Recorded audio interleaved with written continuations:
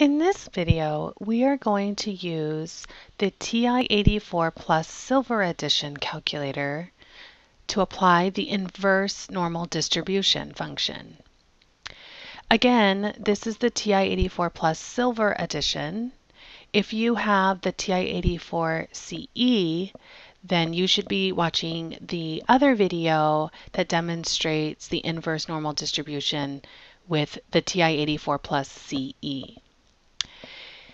The difference between the TI-84 Plus Silver Edition is one little line in the inverse normal distribution.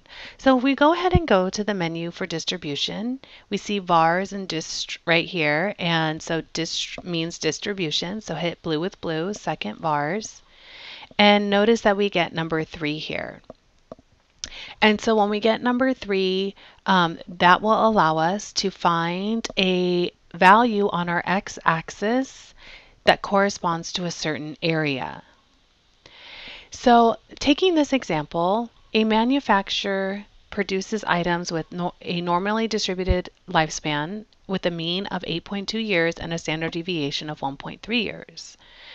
The 1% of items with the shortest lifespan will last less than how many years? So the word less than means that it's going to be shaded to the left and in order to get 1% shading to the left, we would have to know that it's the left tail. So 1% shading to the left has to be this small little left tail. Notice just from the picture being shaded, we cannot tell what that value is that corresponds to the lowest 1%, but we do know that it's somewhere in between 4.3 and 5.6 years. So we can go ahead and enter this. Now, the one thing we should note about the TI-84 plus Silver Edition model is that the INV norm only gives area to the left. We cannot choose where the area may be. According to the problem, we will have to address this issue in the next couple of examples. For now, since we need area to the left, this works out great. In fact, the area given to the left is 1%, so 0.01. The mean that they gave us was an 8.2 lifespan, and the standard deviation was 1.3 years. If we go ahead and paste that in, we get the years of 5.2 rounding correctly to one decimal place. So the lowest 1% of lifespans is going to be less than 5.2 years. The next example states that the 5% of items that will last more than how many years? So more than would be shading to the right and 5%. The only way we're going to get 5% area shading to the right is knowing that it's going to be the right tail. Unfortunately, this calculator does not give area to the right. We only have the area to enter to the left. So we're going to go ahead and have to calculate that ourselves. There is a couple of ways to do this. The first thing we need to notice is that we the whole area under the curve is 1%, 100%, right? If this area to the right tail is 5%, that would lead the um, rest of the area to the right, right, to be 95% because 95% plus 5% is 100%. So if you have area to the right, that means you would subtract that percentage from 100 to get all that area that's left over on the left side.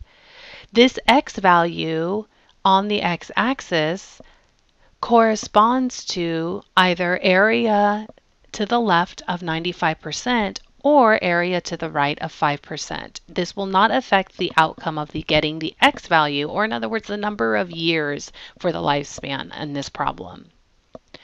Since this calculator only allows us to enter area to the left, we'll go ahead and use the 95%. So if I hit second vars to go back to the distribution menu and hit 3, I can change this to the area on the left side. The mean and standard deviation is the same, and I'll go ahead and paste and enter. So 10.3 years will correspond to the lifespan of the top 5%.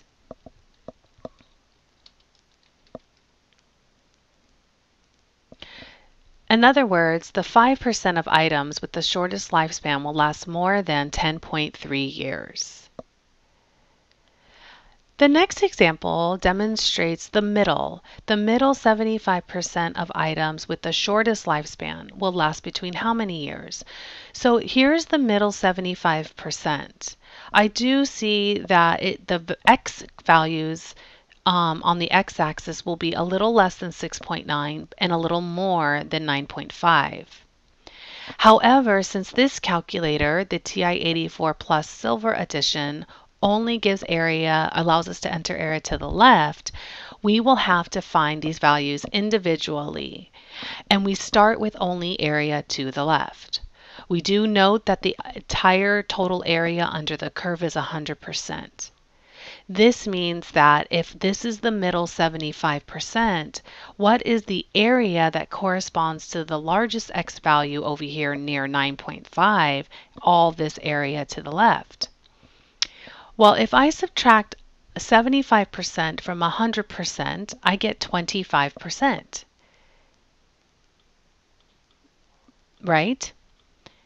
But notice that I have two tails that it split into. And since the normal distribution is symmetric, uh, we will divide that by 2.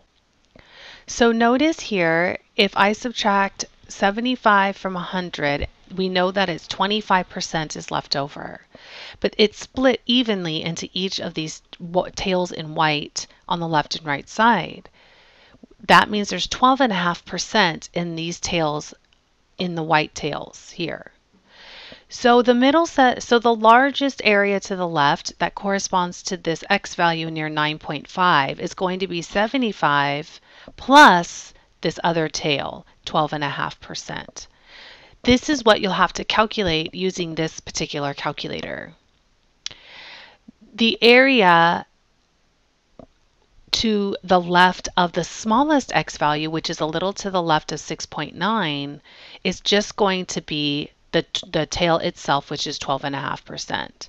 So the total area from the left of around 9.5 is 87.5%, which is 75% plus 12.5%.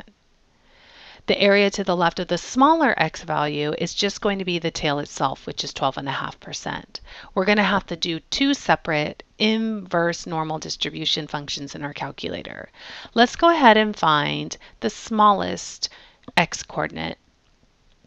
So let's go ahead and hit second vars number three for inverse normal distribution. And the area to the left here that will correspond to this first smallest x value will be 12.5%, which is 0.125. Uh, mean and standard deviation stay the same and go ahead and paste. So the middle 75% is between 6.7 and, and let's find the larger x value around 9.5 years. The area to the left here in this case is going to be 87.5%, which is that 75% plus that tail of 12.5%. Going back to our calculator and putting in 0.875 for 87.5%, mean and standard deviations stay the same. We get 9.7.